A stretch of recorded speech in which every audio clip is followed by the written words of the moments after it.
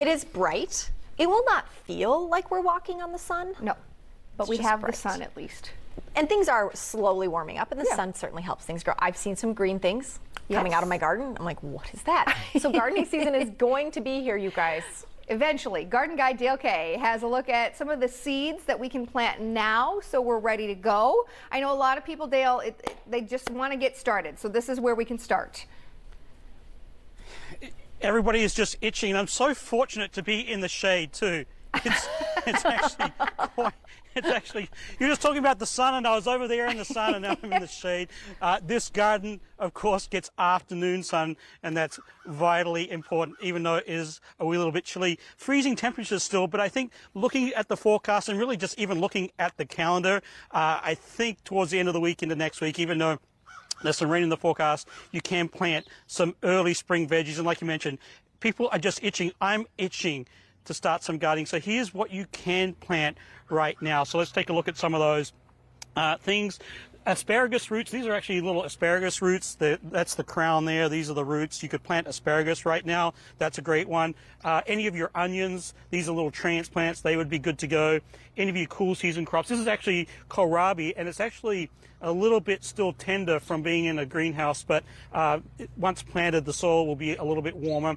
But any of your cool season crops would be nice. Uh, broccoli, uh, cabbage, any of those guys, quite nice as well. And then you mentioned seeds, any of your uh, leafy greens, like what do I got here? I got lettuce, a couple of different types of lettuce blends. And of course, plant what you like to eat. You don't have to plant all these things, but definitely plant what your family likes to eat. I got a whole bunch of different lettuces. I like romaine. Spinach is a good one to very cool season. And then radishes, quite nice as well. And this one is actually quite sweet as well. It's the French breakfast radish. So if you like a sweeter radish, that's a good one to plant. Now I also have an advantage here where I've got a raised bed and this is where I do my early and late veggie gardening because the soil will actually warm up a lot quicker in this space than in the ground. And I pay attention, of course, to soil temperature. And there is a, was actually a little bit of a crust on the uh, frozen crust on this bed uh, when I started. So what I'm going to do this morning is actually plant some spuds or potatoes, and they're easy to do, and you can do them even in a container just like this one.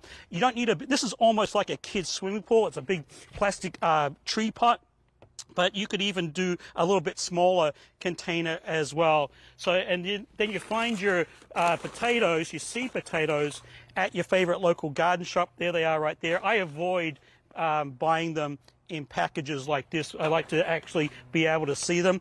This is from the grocery store. That's your russet potato. Now, the thing with grocery, even though you could, really, actually, you can't plant these, and here's the reason.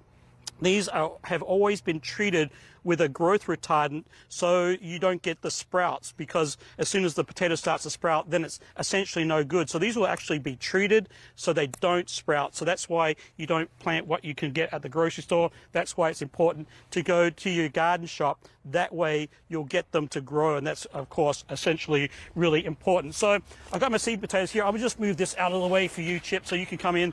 Come on in.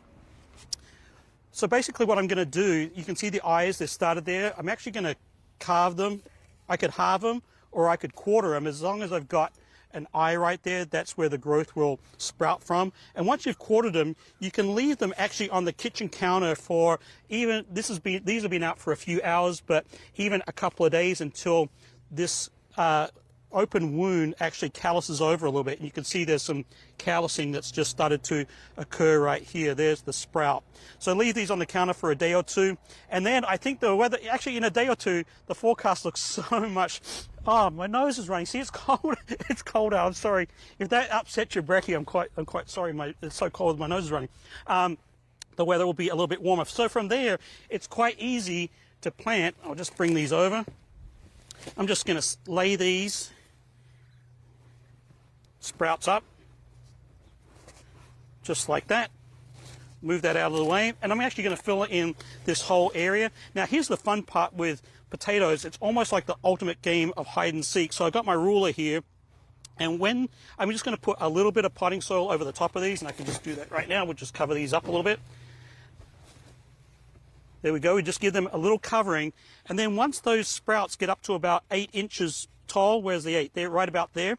I'm actually going to recover all the stems with potting soil one more time. So it'll it'll actually be almost up to here, and that way all the all the um, the callousing off the stems will produce an abundance of potatoes. And this is actually a really good thing to do with the kids. It's really the ultimate game of hide and seek. I've, do you, I've actually used a variety called Superior. It's a shorter growing. It's about 100 or 90 days to about 100 days to harvest. So towards the end of, end of July, these will be ready to go. A little bit of fertilizer, some plant stakes. Bob's your uncle. You got your bed. You got your veggies. You can start those things. Don't start your tomatoes. You can start these things right now. Back to you. Okay, good little checklist. Now go get in the sun, Dale. Thank you. Yes. and I'll stop running.